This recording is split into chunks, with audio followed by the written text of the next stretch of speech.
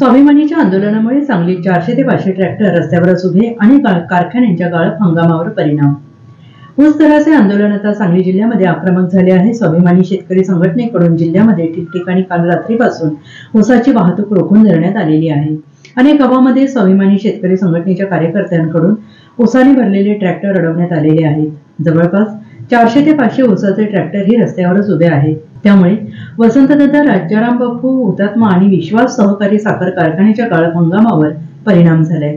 तर मागण्या मान्य होत नाही तोपर्यंत ऊसाची वाहतूक करू देणार नाही आणि कायदा सुव्यवस्था बिघडल्यास त्याला सर्वस्वी प्रशासन जबाबदार राहील असा इशारा स्वाभिमानी संघटनेचे जिल्हाध्यक्ष महेश खराडे यांनी दिला आहे.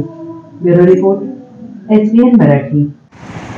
उसाला पहिली उचल पस्तीसशे रुपये मिळाली पाहिजे. आणि गतवर्षीचा चारशे रुपयेचा दुसरा हप्ता मिळाला पाहिजे यासाठी स्वाभिमानी शेतकरी संघटनेच्या वतीनं सांगली जिल्ह्यामध्ये ऊसतोड बंद आंदोलन सुरू आहे आणि ह्या आंदोलनाचा भडका आता उडालेला आहे.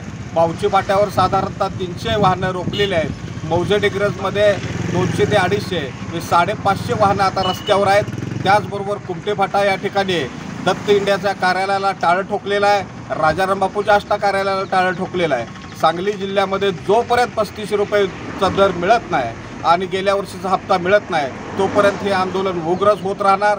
त्यामुळं जिल्ह्यातल्या जिल्हाधिकारी आणि पोलीस प्रमुखांना आमचं आव्हान आहे की कायदा आणि सुव्यवस्थेचा जर प्रश्न निर्माण झाला तर त्याची सर्वस्वी जबाबदारी आपली राहील. शेतकरी सनदशीर मार्गाने आंदोलन करतोय. पण जर स शेतकऱ्यांच्या सहनशक्तीचा अंत झाला तर उद्रेक होईल आणि त्याची सर्वस्वी जबाबदारी प्रशासनाची राहील.